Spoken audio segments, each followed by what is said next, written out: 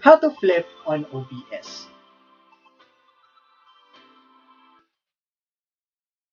So when you're using Google Meet, it uses a mirror effect so you don't get confused. So if you're waving your left hand, it will show on this screen you waving your right hand.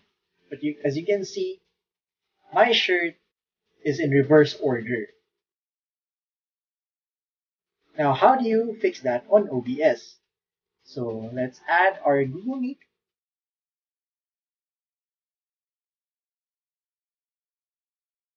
Okay.